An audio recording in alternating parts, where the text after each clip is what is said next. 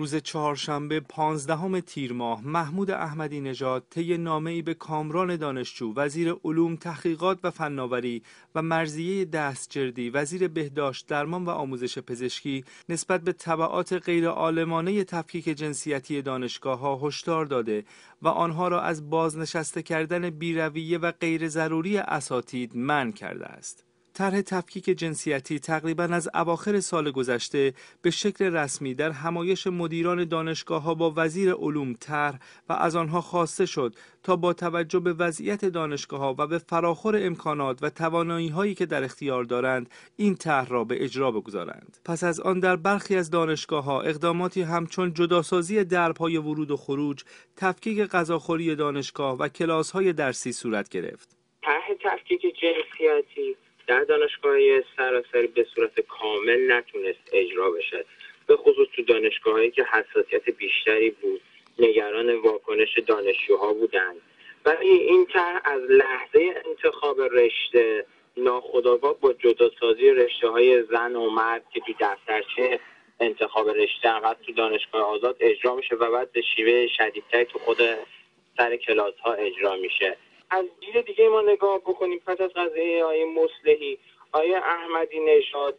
خب خیلی در معذوریت قرار گرفت یاران نزدیکش رو گرفتن حل هم امکان بازداشت مشایی میره. همه اینها که در یک کنار بذارید آیه احمدی نژاد می‌خواد که حدی از محبوبیت افکار عمومی رو برای خودش داشته باشه. شبیه همون قضایه ورود بانوان به ورزشگاه که این رو توپ رو پد کرد در زمین حوزه علمیه و در زمین مراجع انداخت گفت من موافقم که بانوان بیان به استادیوم های ورزشی. این مراجع هستن که نمی‌دونم منتقدان حکومتی این طرح معتقدند که به دلیل عدم وجود طرحی منسجم و اعمال سلیقه مجریان اجرای این طرح ممکن نیست و این در حالی است که در ماهای اخیر این طرح مورد بهره برداری برخی جریانهای سیاسی نیز واقع شده است.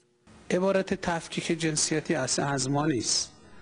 اونی که ما در وزارت علوم و کل دانشگاه های کشور به طور جدی دنبالش هستیم اجرای قانون افاف هجاب و پوشش هست. اینکه یه محیط سالم اخلاقی که در اون به هر حال فضای آرامش روانی برش حاکم باشه حضور باشه ولی اختلاط به سبک غربی نباشه.